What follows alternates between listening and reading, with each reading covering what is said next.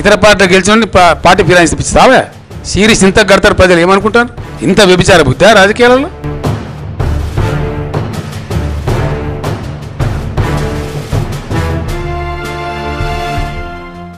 అధికార టీఆర్ఎస్లో టీడీపీ శాసనసభ పక్షం విలీనం. సీఎం కేసీఆర్ సమక్షంలో ముగిసిన లాంఛనం. టీడీపీకి రాజీనామా చేసిన ఎమ్మెల్యే మచ్చా నాగేశ్వరరావు. మరో ఎమ్మెల్యే సండ్ర వెంకట వీరయ్యతో కలిసి టీడీఎల్పీని టీఆర్ఎస్లో విలీనం చేస్తున్నట్టు స్పీకర్ పోచారం శ్రీనివాసరెడ్డికి లేఖ ఇచ్చారు. ఒక పని ముగిసింది. టీడీపీపై అధికార పార్టీ ప్రయోగించిన ఆపరేషన్ ఆకర్ష్ సమాప్తమైంది. కాకపోతే కాస్త ఆలస్యమైంది అంతే.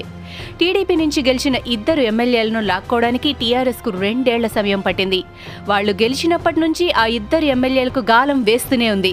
గులాబీ గాలానికి ముందుగా సండ్ర చిక్కితే ఇప్పుడు ఆ వలలో మచ్చపడ్డారు. పూర్తి మెజారిటీతో గెలిచిన గులాబీ పార్టీకి ఆ ఇద్దరు టీడీపీ ఎమ్మెల్యేలను పార్టీలో విలీనం చేసుకోవాల్సినంత అవసరమేమొచ్చింది?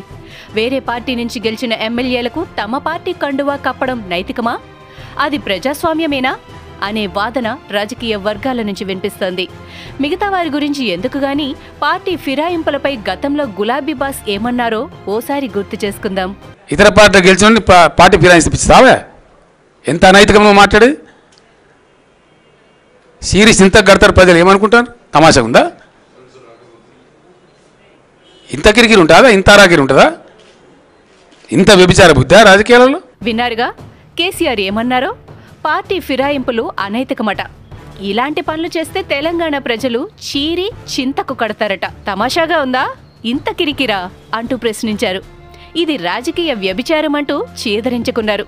ఇవన్నీ గతంలో స్వయంగా ఆయన నోటి నుంచి వచ్చిన డైలాగులే. ఇన్ని నీతులు చెప్పిన ఈ పెద్దాయన మళ్ళీ అలాంటి రాజకీయ వ్యభిచారానికి ఎందుకు పాల్పడినట్టు? టీడీపీ నుంచి గెలిచిన ఇద్దరు ఎమ్మెల్యేలను అనైతికంగా తమ పార్టీలో చేర్చుకొని పార్టీ ఫిరాయింపుల్ని ఎందుకు ప్రోత్సహించినట్టు?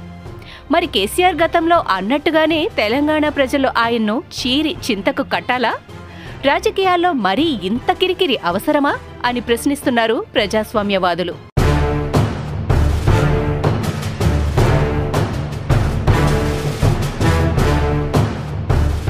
తెలంగాణలో తెలుగుదేశం పార్టీని కథం చేయాలని మొదటి నుంచి ప్రయత్నిస్తూనే ఉన్నారు కేసీఆర్. రెండు వేల పద్నాలుగు ఎన్నికల్లో టీడీపీ నుంచి పదిహేను మంది ఎమ్మెల్యేలు గెలిస్తే విడతల వారీగా వారిలో చాలా మందికి గులాబీ కండువా కప్పేశారు కేసీఆర్. రెండు వేల పదహారులో టీడీఎల్పీని టీఆర్ఎస్లో విలీనం చేశారు అప్పటి టీడీఎల్పీ నేత ఎర్రబెల్లి దయాకర్ రావు రెండు వేల పంతొమ్మిది ఎలక్షన్లో టీడీపీ నుంచి ఇద్దరంటే ఇద్దరు ఎమ్మెల్యేలే గెలిచారు. తెలుగుదేశం పార్టీ ప్రాతినిధ్యం ఉమ్మడి ఖమ్మం జిల్లాకు మాత్రమే పరిమితమైంది. టీడీపీకి ఉన్నది ఇద్దరేగా వారిని వదిలేయొచ్చుగా. గులాబీ బాస్ ఆ మాత్రం కనికరం కూడా చూపలేదు. తొలినాళ్ళలోనే సత్తుపల్లి నుంచి గెలిచిన సండ్ర వెంకట వీరయ్యను పార్టీలో చేర్చుకున్నారు. అశ్వారావుపేట ఎమ్మెల్యే మచ్చ నాగేశ్వరరావు మాత్రం కేసీఆర్ వలకు చిక్కకుండా జారుకున్నారు. రెండేళ్ళుగా టీడీపీ ఎమ్మెల్యేగానే కొనసాగుతున్నారు అయితే అధికార పార్టీ నుంచి ఒత్తిడి నియోజకవర్గ అభివృద్ధికి సహాయ నిరాకరణతో మచ్చ సైతం పార్టీ మారేలా చేయడంలో సక్సెస్ అయింది టీఆర్ఎస్. ఇంకేమైనా సీసీలోడ్ కావాలనేది మనం ఇచ్చే పరిస్థితి కాబట్టి మళ్ళీ ఇప్పుడున్న ఈ రెండు సంవత్సరాల సీఎం ప- పట్టుకొని డెవలప్ చేద్దామన్నది కోరిక. అందరికీ సహకారం చేయాలనే ఆలోచనతో పార్టీ ఇప్పుడు టీడీఎల్పీని టీఆర్ఎస్లో కలిపేసుకొని తెలంగాణ అసెంబ్లీలో తెలుగుదేశం పార్టీ ప్రాతినిధ్యం లేకుండా ఖతం చేశారు కేసీఆర్.